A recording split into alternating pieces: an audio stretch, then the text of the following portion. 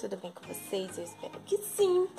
Hoje eu vim cá pra mostrar receitinha super fácil de coxinha com três ingredientes só, gente, que fica assim prontinha, facinho, rapidinho, em poucos minutos.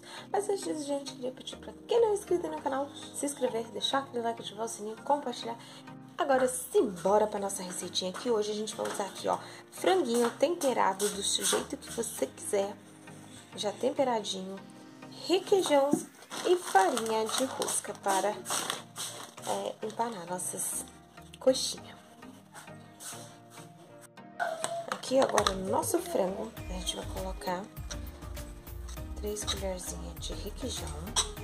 Vamos misturar para ver se dá um ponto. Se não dá, a gente coloca um pouquinho.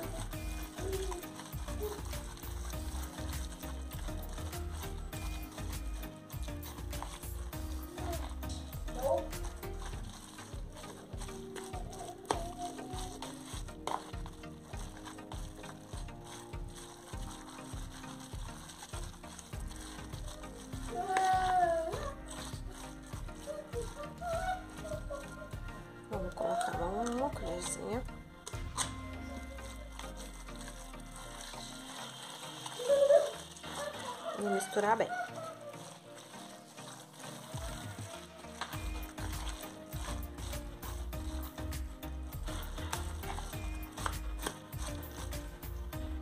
Agora a gente pega aqui uma quantidade, uma, uma colher, ou se você quiser fazer maior, e você modela. Aí você modela, aí a gente passa aqui na farinha de rosca, né? A gente dá mais uma modeladinha, dá uma amassadinha boa nela e passa novamente na farinha de rosca, até você ver que ela ficou bonitinha assim. Eu passei umas três vezes na farinha de rosca.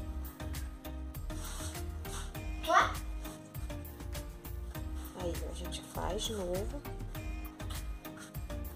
E agora a gente passa a última vez, põe aqui do lado e fica pronto para fritar. Não precisa nem usar nem ovo, nem nada, só desse jeito e fica uma delícia. Gente, aqui ó, rendeu 25 coxinhas de um, um peito de frango.